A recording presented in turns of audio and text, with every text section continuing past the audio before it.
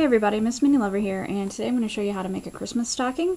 And it opens up and you can put goodies inside of it. I know it's a little early for Christmas decorations, but I like to get stuff done ahead of time. Um, what you're going to need is some felt. I got these craft felts from Walmart and they were 20 cents a piece. So for four of them, it was only 80 cents.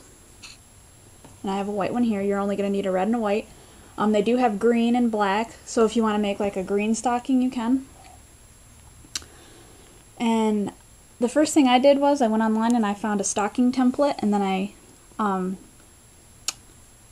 put it down to a dollhouse size.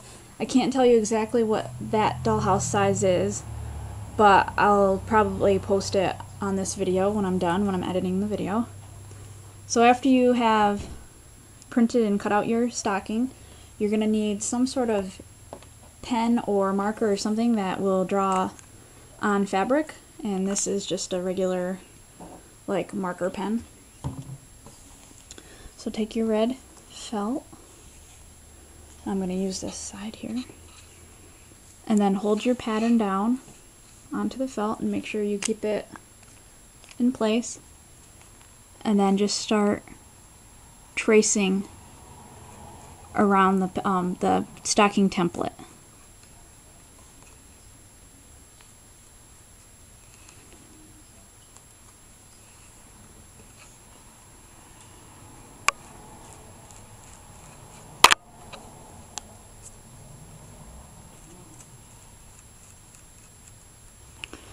Okay, and once you've done that, you have a stocking.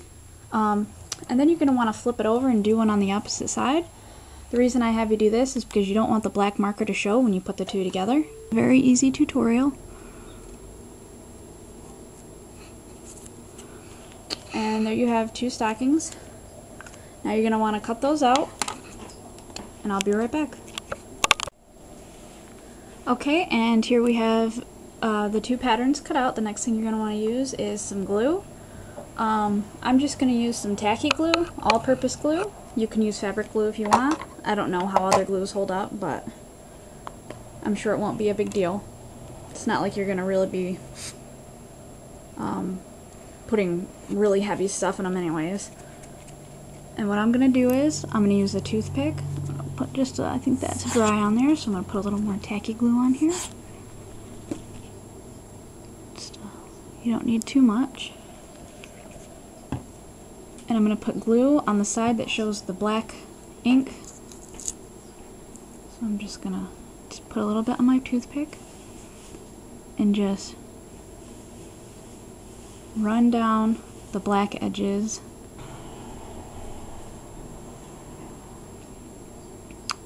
Okay, and once you do that, you're going to want to flip the black ink, the side with the ink on it down onto the other pattern. And make sure it's even. And if you need to trim some excess off if you didn't cut it perfect, you can do that. And there's that part. Now the next, let, while that's drying, I'm going to go ahead and work on the top part, the cotton part of the stocking up here.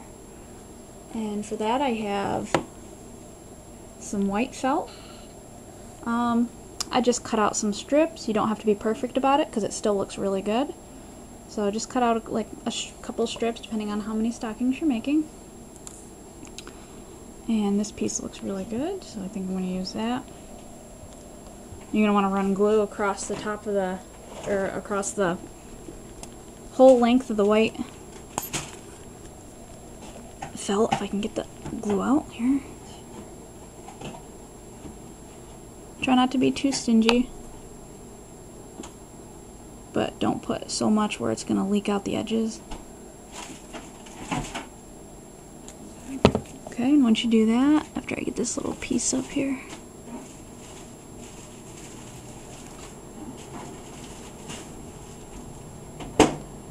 take the white piece and place it on the top and then wrap it around.